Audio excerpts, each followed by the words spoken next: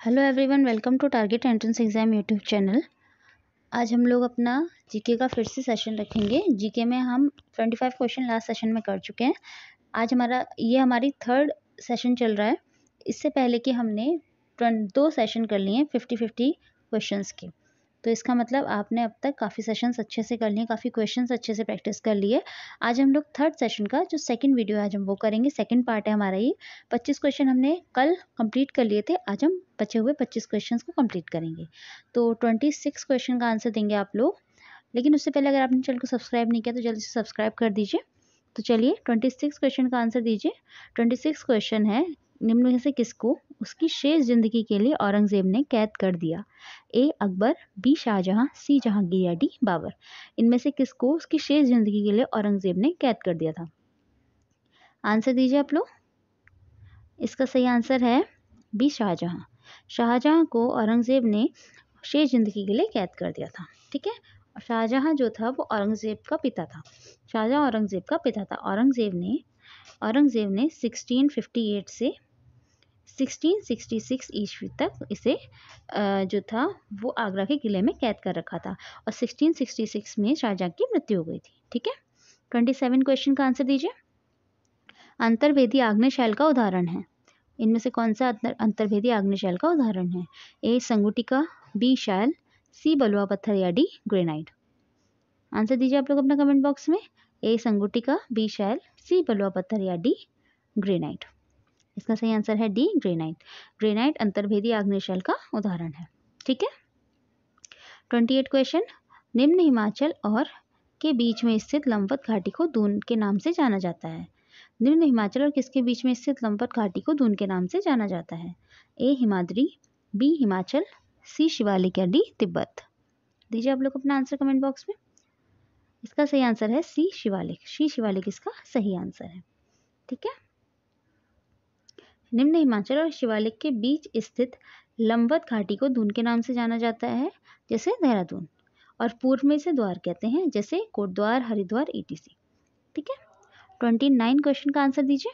Twenty nine question है, बहुकोशिका जीव के द्वारा वृद्धि करते हैं। ए कोशिका अधिकता, बी कोशिका विस्फोट, सी कोशिका अंतस्फोट या डी कोशिका विभाजन। इनमें से किसके द्वारा बहुकोशिका जीव वृद्धि करते हैं? दीजिए कमेंट बॉक्स में आंसर इसका सही आंसर है डी कोशिका विभाजन। इसका सही आंसर है डी कोशिका विभाजन। ठीक है? थर्टी क्वेश्चन का आंसर देंगे। थर्टी क्वेश्चन है, पुष्प में नर लैंगिक अंग है। पुष्प में नर लैंगिक अंग कौन सा होता है? A zoospore B cancer C स्त्री केसर या डी क्लोरोफाइसी। पुष्प में नर लैंगिक अंग कौन सा होता है? इसका सही आंसर है बी पुकेंसर ठीक है? Thirty first question thirty first question का आंसर दीजिए। संपर्क बल को, बल भी कहा जाता है। कौन सा बल कहते हैं? संपर्क बल का दूसरा नाम क्या है? ए घर्षण, बी चुंबकीय बल, सी स्थिर वैद्युत बल या डी पेशीय बल। संपर्क बल को कौन सा बल भी कहा जाता है? इसका सही आंसर है डी पेशीय बल। इसका सही आंसर है डी पेशीय बल। थर्टी टू क्वेश्चन आज हम लोग ट्वेंटी फाइव क्वेश्चन करने वाले हैं। ट्वेंटी फाइव क्वेश्चन करेंगे जिसमें से आप लोग एम बनाइए कि एटलीस्ट ट्वेंटी प्लस आपके सही हो जाए। ठीक है? और एटलीस्ट अगर नहीं होते हैं तो आप लोग कुछ ना कुछ सीख के जाएँगे। कुछ क्वेश्चन आपको याद रह जाएँगे। ठीक है? एप्सोल्यूस डैश में इंटरनेट का फ़ाइल का संपूर्ण पता होता है। A JavaScript B U R L C S Q L या डी स्ट्रिंग दीजिए इसका सही कमेंट बॉक्स में सही आंसर इसका सही आंसर है B U R L absolute U R L में इंटरनेट का इंटरनेट पर फ़ाइल का संपूर्ण पता होता है, ठीक है? कंप्यूटर का क्वेश्चन था ये थर्टी थ्री क्वेश्चन वह परिवर्तन जिसमें कोई नया पदार्थ नहीं बनता, क्या कहलाता है? ए भौतिक परिवर्तन बी रासायनिक परिवर्तन सी जंग लड़ना या डी यशद यशद लेपन यानी गैल्वेनाइजेशन ये वह पदार्थ जिसमें कोई नया पदार्थ नहीं बनता, क्या कहलाता है? इसका सही आंसर है ए इसका सही आंसर है ए भौतिक परिवर्तन। ठीक है, वह पदार्थ जिसमें कोई नया पदार्थ नहीं बनता, वो क्या कहलाता है? भौतिक परिवर्तन। जैसे जैसे कि जल का उबलना, आइसक्रीम का पिघलना आदि, ये सब हमारे क्या होते हैं? भौतिक परिवर्तन। थर्टी फोर क्वेश्चन धातुओं का वह गुण जिसमें उन्हें खींचकर तारों में परिवर्तित किया जा सकता है, क्या कहलाता है? धातुओं का वह गुण जिसमें उन्हें खींचकर तारों में परिवर्तित किया जा सकता है, क्या कहलाता है? ए अघात वर्धनीयता बी, शांता सी, तन्यता या डी, तनन सामर्थ्य। बताइए इसका सही आंसर क्या होगा? इसका सही आंसर होगा तन्यता। धातुओं का वह गुण जिन्हें खींचकर तारों तारों में परिवर्तित किया जाता है, वो क्या कहलाता है? तन्यता। और सोना और चांदी हमारी जो होती है, बहुत सारी, बहुत ज़्यादा तन्य धातु हैं। तभी तो आपने देखा उनके तार इजीली अवेलेबल होते हैं। उनके गहने भी इजीली बनाए जा सकते हैं। थर्टी फाइव क्वेश्चन का आंसर देंगे आप। दी गई अवधि समिष्ट में होने वाली मौतों की संख्या है। ए जन्म दर बी मृत्यु दर सी, आप्रवासन या डी, उत्प्रवासन। आंसर दीजिए आप लोग अपना कमेंट बॉक्स में। आंसर दीजिए आप लोग अपना कमेंट बॉक्स में। इसका आंसर, सही आंसर है बी मृत्यु दर इसका सही आंसर है मृत्यु दर मृत्यु दर दी गई अवधि समिष्ट में होने वाली मौतों की संख्या है। अर्थात किसी दिए गए समयावधि में प्रति हज़ार लोगों पर मरने वाली व्यक्तियों की संख्या को मृत्यु दर कहते हैं। ये एक तरीके से उसकी डेफिनेशन है, ठीक है? थर्टी सिक्स क्वेश्चन का आंसर दीजिए। संचारित प्रणाली की खोज किसने की थी? संचारित प्रणाली की खोज किसने की थी? A Thomas Edison B William Harvey C Robert Hooke या डी रॉबर्ट बर्स बताइए आप लोग इसका सही आंसर क्या होगा? संचारित प्रणाली की खोज किसने की थी? A Thomas Edison B William Harvey C. Robert Hooke या डी. रॉबर्ट बायस इसका सही आंसर है B. William Harvey thirty seven question का आंसर देंगे आप लोग। आप लोग अपने आंसर कमेंट में देते रहिए। किस शहर में वर्ष 2022 में कॉमन, कॉमनवेल्थ खेल आयोजित किए जाएँगे? A. Delhi B. Birmingham, C. Kyoto या डी. दुबई? थर्टी सेवन का आंसर दीजिए आप लोग। थर्टी सेवन का आंसर दीजिए आप लोग। इसका सही आंसर है बी बर्मिंगम ठीक है? थर्टी एट क्वेश्चन बुलंद दरवाज़ा कहाँ स्थित है? बुलंद दरवाज़ा कहाँ स्थित है? A, Paschim Bangal, B, Gujarat, C, Uttar Pradesh या डी, तमिलनाडु। बुलंद दरवाज़ा कहाँ स्थित है? बताइए। बुलंद दरवाज़ा कहाँ स्थित है? इसका सही आंसर है सी, उत्तर प्रदेश। बुलंद दरवाज़ा कहाँ स्थित है? उत्तर प्रदेश के फतेहपुर सीकरी में। ठीक है? और इसका निर्माण किसने कराया था? अकबर ने। Thirty nine question. सरकारी कर्मचारियों द्वारा प्रदान की गई सेवा सहित किसी भी क्षेत्र में विशिष्ट सेवा के लिए निम्नलिखित में से कौन सा पुरस्कार दिया जाता है? सरकारी कर्मचारियों द्वारा प्रदान की गई सेवा सहित किसी भी क्षेत्र में विशिष्ट सेवा के लिए निम्नलिखित में से कौन सा पुरस्कार दिया जाता है? ए. अशोक चक्र बी दादा साहेब फाल्के पुरस्कार सी अर्जुन पुरस्कार या डी पद्मश्री। कमेंट बॉक्स में अपना आंसर देते रहिए। इसका सही आंसर है डी पद्मश्री। डी पद्मश्री इसका सही आंसर है, ठीक है? फोर्टी क्वेश्चन का आंसर देंगे आप लोग। Forty question.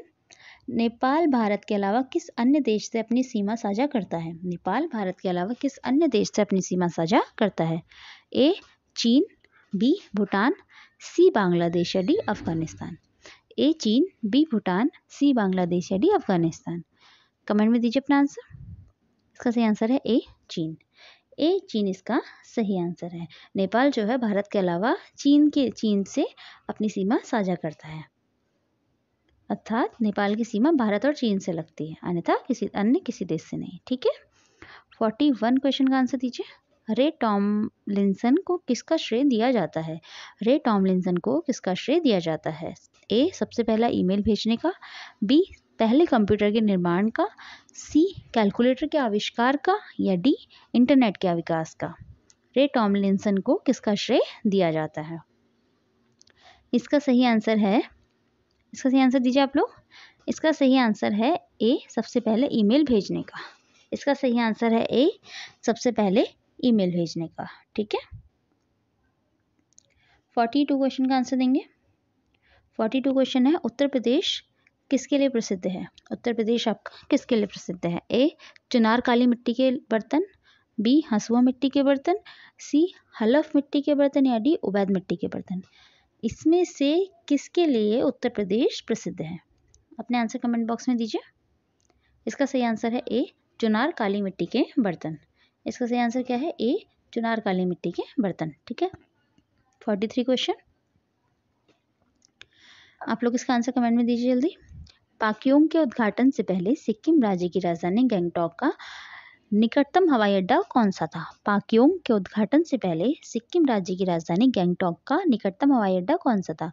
A, Bagdogra, B Lilabari, C उमरोयडी Dimapur. बताइए इसका सही आंसर क्या होगा? पाक्योंग के उद्घाटन से पहले सिक्किम राज्य की राजधानी गैंगटॉक का निकटतम हवाई अड्डा कौन सा था? ठीक है? इसका सही आंसर दीजिए, इसका सही आंसर है ए, बागडोगरा। इसका सही आंसर है ए, बागडोगरा, ठीक है? फोर्टी फोर क्वेश्चन का आंसर देंगे आप लोग। आज हम लोग फिफ्टी तक क्वेश्चन करेंगे। फोर्टी फोर क्वेश्चन का आंसर देंगे। किस भारतीय महिला बल्लेबाज का भाई जिला स्तर का क्रिकेटर है? बताइए जल्दी। A, Harmanpreet Kaur B Smriti Mandhana C Mithali Raj D Poonam Yadav. किस महिला बल्लेबाज का भाई जिला स्तर का क्रिकेटर है? बताइए। इसका सही आंसर है बी, स्मृति मंधाना। इसका सही आंसर क्या है? बी, स्मृति मंधाना। उनके भाई जो है वो जिला स्तर के क्रिकेटर हैं। और स्मृति ने जो अपना पहला अंतर्राष्ट्रीय वनडे जो था वो बांग्लादेश के विरुद्ध खेला था, ठीक है? जिला स्तर के क्रिकेटर हैं सॉरी अंतर्राष्ट्रीय जिला स्तर के क्रिकेटर हैं, ठीक है? Forty five statue of unity किसके प्रति श्रद्धांजलि है? स्टैचू ऑफ़ यूनिटी किसके प्रति श्रद्धांजलि है? A Mahatma Gandhi B Sardar Vallabh Bhai Patel C Pandit Nehru या D Atal Bihari Vajpayee. Statue of unity किसके प्रति श्रद्धांजलि है? इसका सही आंसर है बी सरदार वल्लभ भाई पटेल। इसका सही आंसर है बी सरदार वल्लभ भाई पटेल।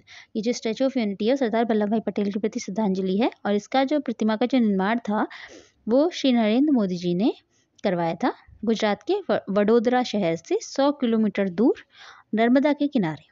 ठीक है? इसकी ऊंचाई कितनी? एक सौ बयासी मीटर है, जो विश्व की सबसे ऊँची प्रतिमा है, ठीक है? ओके, चलिए। अगले क्वेश्चन का आंसर देंगे आप लोग। अगले क्वेश्चन का आंसर देंगे। कंचनजंगा विश्व के तीसरा सबसे बड़ा पर्वत किसकी सीमाओं के बीच स्थित है? कंचनजंगा विश्व में तीसरा सबसे बड़ा पर्वत है और किसकी सीमाओं के बीच स्थित है? ए, भारत और भूटान, बी, भारत और चीन सी, भारत और नेपाल, या डी, भारत और तिब्बत? दीजिए आंसर अपना कमेंट बॉक्स में। इसका सही आंसर है भारत और नेपाल। जो कंचनजंगा विश्व की तीसरा सबसे बड़ा पर्वत है, भारत और नेपाल के बीच सीमा पर स्थित है। ठीक है? फोर्टी सेवन क्वेश्चन भारतीय संविधान के अनुच्छेद 243 बाग के गठित, अधीन गठित ग्रामीण क्षेत्रों के लिए स्वयं सरकार का संस्था कौन सी है? ए, ग्राम सभा, बी, पंचायत, सी, ग्रामीण सभा, या डी, ग्राम सभा। आंसर दीजिए अपने कमेंट बॉक्स में। इसका सही आंसर है बी, पंचायत। भारतीय संविधान के अनुच्छेद 243 वाक के अधीन गठित ग्रामीण क्षेत्रों के लिए स्वयं सरकार की जो संस्था है, वो पंचायत है, ठीक है? Forty eight question forty eight question निम्न में से कौन सा राज्य भारत में खाद्यान्न का सबसे बड़ा उत्पादक है? निम्नलिखित में से कौन सा राज्य भारत में खाद्यान्न का सबसे बड़ा उत्पादक है? ए, मध्य प्रदेश, बी, पंजाब, सी, उत्तर प्रदेश, या डी, कर्नाटक। इसका सही आंसर बताइए आप लोग। इसका सही आंसर है सी, उत्तर प्रदेश। सी, उत्तर प्रदेश इसका सही आंसर है, ठीक है? फोर्टी नाइन, अब हमारे दो क्वेश्चन बचे हैं, ठीक है? फोर्टी नाइन क्वेश्चन इनमें से कौन सी कंप्यूटर प्रोग्रामिंग भाषा नहीं है? इनमें से कौन सी कंप्यूटर प्रोग्रामिंग भाषा नहीं है? A C plus plus B objective C C C hash या D C at the rate इनमें से कौन सी भाषा जो है कंप्यूटर प्रोग्रामिंग नहीं है? आप देख रहे हैं इसी तरीके से जीके में हर तरीके के क्वेश्चन आते हैं इकोनॉमिक्स हिस्ट्री जोग्राफी आपके कंप्यूटर से रिलेटेड क्वेश्चंस भी आ गए हैं साइंस के भी एक दो क्वेश्चन आ जाते हैं। इसी तरीके से आपके जीके के अंदर काफ़ी सारा पार्ट पोर्शन कवर हो जाता है। तो इसलिए बेसिक चीज़ें पढ़ना आपको बहुत ज़्यादा ज़रूरी है। आप लोग इसका आंसर दीजिए फोर्टी नाइन क्वेश्चन का। इसका सही आंसर है D C at the rate इसके अलावा ये जितनी भी हैं, ये कंप्यूटर प्रोग्रामिंग लैंग्वेजेस हैं। C plus plus objective C और शी हैज़ ठीक है? फिफ्टी क्वेश्चन और आज का हमारा लास्ट क्वेश्चन भारतीय संविधान अपने नागरिकों को की समानता का वचन देता है? ए अभिव्यक्ति और विश्वास. बी हैसियत और अवसर. सी विचार और अभिव्यक्ति या डी अवसर और अभिव्यक्ति. भारतीय संविधान अपने नागरिकों को किसकी समानता का वचन देता है? बताइए। इसका सही आंसर है बी हैसियत और अवसर. ठीक है? इसका सही आंसर है बी हैसियत और अवसर. तो आज हम लोगों ने fifty twenty five question cover किए हैं और ट्वेंटी फाइव क्वेश्चन में से आई होप आपके at least twenty question twenty plus question सही गए होंगे, ठीक है? और इसके अलावा आपने अभी तक हमारे चैनल को सब्सक्राइब नहीं किया तो सब्सक्राइब कर दीजिए। अगर आपके क्वेश्चन सही नहीं भी गए तो भी कोई प्रॉब्लम नहीं है, क्योंकि आप कुछ ना कुछ तो सीख ही रहे जहाँ थे कल, वहाँ से तो अच्छे आगे बढ़ गए हैं ना। तो इसमें कोई प्रॉब्लम नहीं। अच्छे से अपनी प्रिपरेशन करते रहिए और बस क्वेश्चन की ज़्यादा से ज़्यादा प्रैक्टिस कीजिए, जिससे आपको पता लग सके और कभी अगर आपके सामने वो क्वेश्चन आएगा तो आपको पता लग जाएगा कि हाँ इसका आंसर ये होगा। ठीक है तो और बाकी टेंशन लेने की ज़रूरत नहीं है। अच्छे से अपनी प्रिपरेशन करते रहिए और नेगेटिव मार्किंग से बचना है। बाकी आप लोग चैनल को सब्सक्राइब कर लीजिए। टेलीग्राम ग्रुप को ज्वाइन कर लीजिए, वहाँ पर डेली क्विजेस होते हैं। वीकली शेड्यूल होता है तो आपकी प्रिपरेशन के लिए बहुत ज़्यादा हेल्पफुल है। तो बस इसी के साथ थैंक यू